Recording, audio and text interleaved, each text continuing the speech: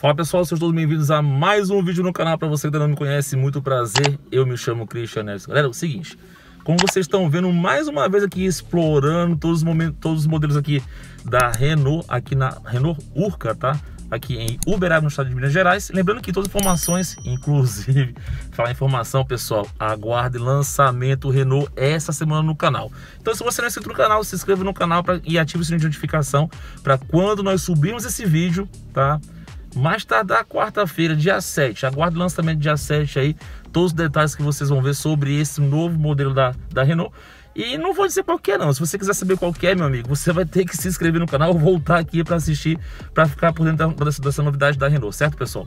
E obviamente, falando em Renault, Urca Renault aqui em Uberaba, todas as informações vão estar referente à Urca, vão estar aqui na descrição desse vídeo, certo pessoal? Hoje, como vocês estão vendo, vamos filmar aqui para vocês esse Quid Zen, tá? Na versão uh, de entrada ali da, da, da, do, da versão dos Quid.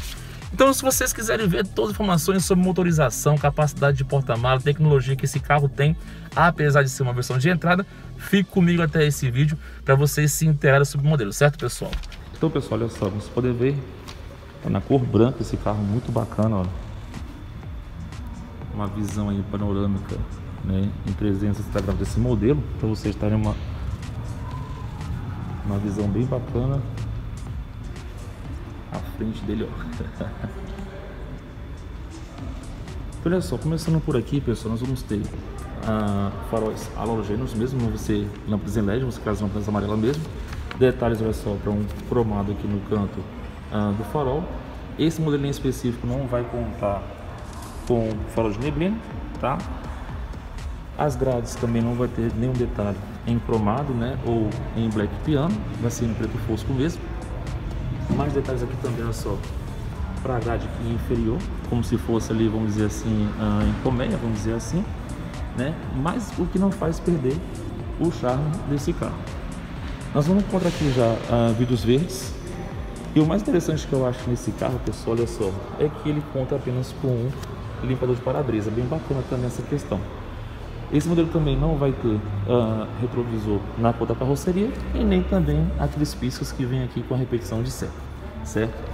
Se tratando aqui uh, dessa, dessa, dessa roda, pessoal, ela vem equipada aí com pneus é, Aro 14, tá? Esse aqui específico não vai ser roda de liga LED, vai ser roda em aço com uma calotinha, bem bacana, vocês podem perceber, tá? E nós temos aqui a uh, suspensão dianteira dele vai ser independente, tá? A traseira vai ser eixo de torção e as molas são as molas aí helicoidal. Falando aqui, pessoal, em relação aos freios, pessoal, nós vamos ter aqui é, discos ventilados na dianteira e uh, na traseira vai ser em tambor, tá bom? E os freios vão ser freios ABS. Nós temos aqui, olha só, um adesivo aqui, ó, bem bacana também, um aplique em preto. Vai, vamos ter aqui a uh, puxadores é, no preto escovado, não vai ser na cor da carroceria nem aqui também. Não vamos ter também detalhes, olha só, uh, das colunas também, não vamos ter colunas em black piano, como já disse para vocês, uma versão de entrada, porém uma versão muito bacana também. Vamos ter aqui na, na antena traseira. Esse carro vai contar também com desembaçador de vidro traseiro, light também, limpador também do vidro traseiro, emblemas em cromado Quid, tá bem bacana também. Esse modelo também específico não vai contar com sensor de racionamento. Como falei para vocês, trata-se de uma versão de entrada, tá? Temos aqui essa aqui bacana, um pequeno aerofólio, como vocês podem perceber. Bem legal, né, pessoal? É um carro muito bonitinho, diga-se de passagem, bem interessante. A abertura do porta-mala, pessoal, a gente pode fazer aqui, ó, internamente aqui do porta-mala e o outro lado aqui, onde a gente pode perceber, do tanque de combustível. Então vamos lá, aproveitar e dar uma explorada nesse porta-mala. Então, ó. Nós temos aqui nesse porta-mala 290 litros, tá pessoal? É o maior porta-mala da categoria. Então olha só, bem bacana que a gente pode perceber. Em relação ao, ao step, não vai ser aquele step temporário, vai ser ser step normal mesmo. Bem bacana o diferencial também em relação a esse modelo. Vamos ter aqui ó, só um tampão também aqui, que é interessante também, em relação ao acabamento interno do porta-mala. A gente pode perceber que é uma coisa bem bacana também, bem organizada. E essa aqui é a visão que nós temos do carro com porta-mala aberto. Bem legal também essa questão. Tratando agora para a parte interna, aqui na porta traseira nós vamos ter aqui, olha só, detalhes. Tá todo em plástico, não temos nenhum detalhe aqui em tecido ou em couro, tá? Puxadores também bem simples. Aqui os vidros traseiros são manuais, porém os dianteiros são elétricos, tá? Esse carro não vai ter revestimento em couro, vai ser revestimento em tecido mesmo, vocês podem perceber. Mas nós temos detalhes aqui, olha só, ah, numa costura em vermelho. Bem bacana essa questão como um todo, como vocês podem estar percebendo também. Esse carro vai contar, obviamente, com Isofix, tá? E o teto branco, certo? Partindo aqui para a porta dianteira, nós temos aqui, olha só, mais detalhes também aqui em plástico, tá pessoal? Como eu falei, aqui também não vai ter nenhuma questão relacionada a tecido ou, ou revestimento em couro. Os bancos, como a gente já viu, bancos não vão ser bipartidos, tá? Ah, mas os bancos bem bonitos também, vocês podem perceber, com detalhes da costura em, em vermelho, né? Com esse revestimento de tecido. Nós temos aqui a questão da regulagem manual também. Como já foi falado aqui, a questão do tanque de combustível do porta-mala. Detalhes aqui para o console central, olha só, um porta-objeto bem volumoso, vamos dizer assim. Freio de mão também, sem detalhes nenhum. Nós temos também aqui a questão do câmbio de velocidade, no caso são é, um câmbio manual de 5 velocidades. Detalhes, temos um courozinho aqui abaixo da base do câmbio. Nós temos um porta-copo, mais porta-objetos. Nós temos tomadas 12 volts. Aqui, tomada 12 volts bem legal. Partindo agora para interno do carro, esse carro não vai contar com chave canivete, tá? Essa aqui já é a chave já que teve nesse modelo.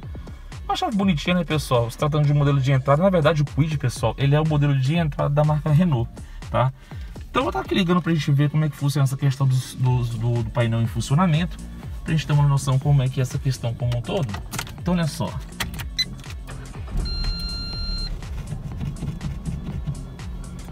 Então, olha só, nós temos aqui um computador de bordo aqui à direita, tá? Uh, esse carro em específico não vai ter RPM. Nós temos detalhes aqui como a gente pode perceber no aço escovado. O volante não vai ser multifuncional, nem revestido também em couro, né? Nós temos aqui uma alavanca que é referente ao sinal de luz alta, luz baixa, ou seta esquerda, direita, né? Temos aqui a questão do limpador de para-brisa também, né? E o limpador traseiro também, bem bacana também essa questão. Esse carro vai contar com um som, pessoal, um somzinho simples, básico, mas esse som é bem interessante porque ele vai ter já Bluetooth, como vocês já estão vendo aqui, ó, vai ter Bluetooth e também vai contar aí com USB e obviamente a MFM, certo? Os, as aberturas dos vidros, pessoal, são feitas por aqui, ó, por aqui, certo? O vidro do, do motorista, o vidro do passageiro, desembaçador, travamento das portas, bem bacana. Questão da seta também é feita por aqui também. Ar-condicionado, tá? Então o ar-condicionado não vai ser digital, um ar-condicionado bem simples. Como já falei, esse modelo é um modelo de entrada.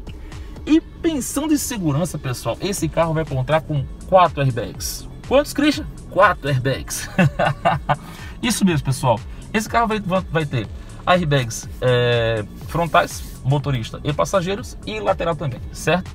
Nós temos aqui, olha só, a questão dos dutos de ventilação com esse açozinho escovado aqui. E também nós temos aqui também um aço escovado também na moldura do console do painel central aqui, aonde fica a, a, o rádio do carro, certo? Aqui também nós temos outro duto também. Nós vamos ter também a questão do porta-luva, e é um porta-luva bem grandinho, diga-se de passagem, viu pessoal? Agora, nós vamos ver essa questão do conjunto, tá? Dos faróis todos em funcionamento. E é bem bacana, pessoal, porque tem muita informação a, a falar sobre isso. Principalmente, pessoal, uma coisa que eu acabei de lembrar agora aqui, esse carro, pessoal, vai contar com volante elétrico, tá?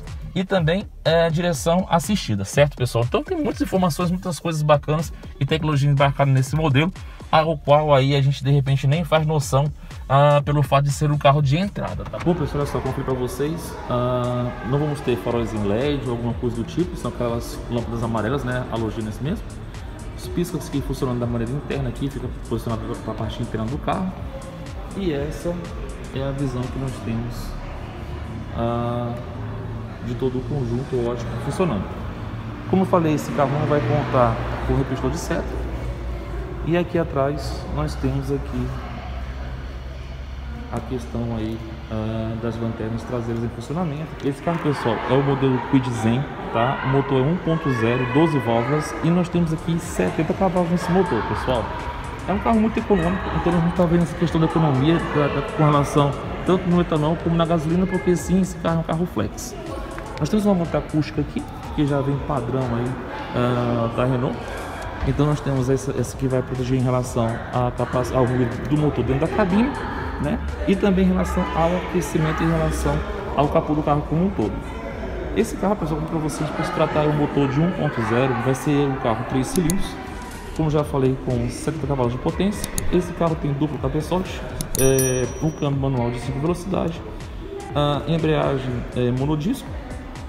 Esse carro, só a título de curiosidade, pessoal, para vocês, esse carro vai de 0 a 100 em 14,7 segundos, tá? E sendo sua velocidade máxima aí de 156 km por hora, seria aí a velocidade máxima desse carro. Em relação aqui à questão uh, que eu sei que vocês gostam de ver essa questão do Inmetro aqui, esse carro na cidade vai fazer no etanol 10.3 tá? e na gasolina 14.9. Já que uh, na estrada, no etanol 10.8 e na gasolina 15.6, sendo que óbvio pode ter uma variação aí, pessoal, de acordo aí uh, com o modo de condução. Eu estava conversando com um dos vendedores aqui, ele me disse que esse carro pode chegar até 17 km com um litro de combustível, tá? Seria um dos mais econômicos da categoria como um todo. Trazendo aqui a questão de, de informação em relação à questão do da revisão, a revisão de 10 mil desse carro, pessoal, essa seria a primeira revisão, você vai gastar uma média de 409 reais. A revisão de 20 mil vai sair por 464 reais. E a de 30 mil também, 464 reais também.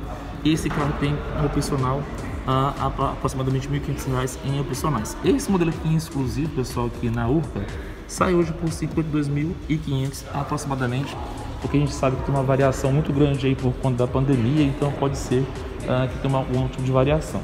Bom, pessoal, vou encerrar esse vídeo por aqui. Se você assistiu até aqui, pessoal, se inscreve no canal se não for inscrito. Vem lançamento Renault aí. Se fosse você, eu me inscrevia ou então voltava aqui nessa semana para saber o que vai ter de lançamento, qual é esse lançamento que eu tanto estou fazendo especulação aqui. Se por acaso já saiu esse lançamento e você uh, uh, não sabe do que se trata, ou porque esse vídeo já passou já há um tempo atrás que você assistiu, clique no primeiro link que vai estar aqui na descrição. Quem sabe já, já tenha colocado já esse vídeo desse, desse modelo que nós vamos filmar para vocês aqui da Renault, certo pessoal?